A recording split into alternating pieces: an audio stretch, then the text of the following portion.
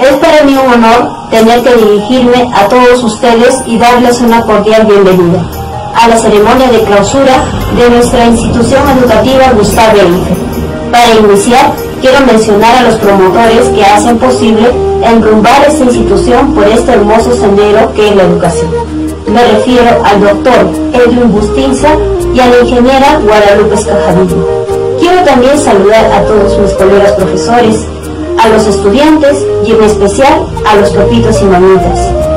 En esta difícil situación que atraviesa nuestro país por causa de la COVID-19, estamos confinados en nuestros hogares y es por ello que nos hemos visto distanciados, pero no alejados. Hemos aprendido que ante la adversidad podemos lograr grandes cosas si estamos unidos. Señores padres de familia, quiero reconocer el gran esfuerzo y dedicación que han demostrado Ustedes han sido el eje fundamental, la parte principal de este largo y tedioso proceso de educar desde casa.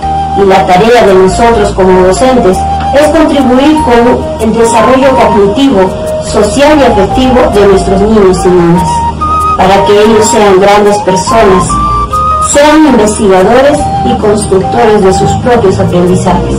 Si bien es cierto, hemos logrado cubrir porcentaje de lo planificado en cuanto se refiere a la educación de sus menores hijos e hijas, pero aún nos falta trabajar la parte socioefectiva y estoy segura que lo lograremos con apoyo de ustedes, papitos y mamitas. Todos los docentes que trabajamos en el nivel de educación primaria nos sentimos contentos y satisfechos por haber logrado cumplir las metas propuestas para este año 2020 y es por este motivo que hoy culmina un periodo maravilloso en cada uno de ellos. Un año donde han demostrado compromiso, dedicación, esfuerzo y sobre todo responsabilidad. Deseo de todo corazón mucha dicha, prosperidad y unión familiar, con el compromiso de seguir siempre adelante. Quiero también reconocer la gran labor y admirable dedicación de todos mis colegas, pedirles que a pesar de la difícil situación que nos conlleva a tomar nuevos retos, nunca decline y seamos siempre consecuentes. Asimismo, demostrar que hemos sido formados para educar con amor y cariño.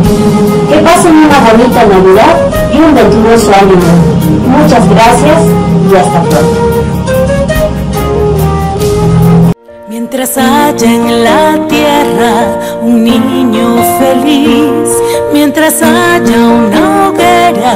para compartir, mientras haya más manos que trabajen en paz, mientras haya una estrella, habrá Navidad.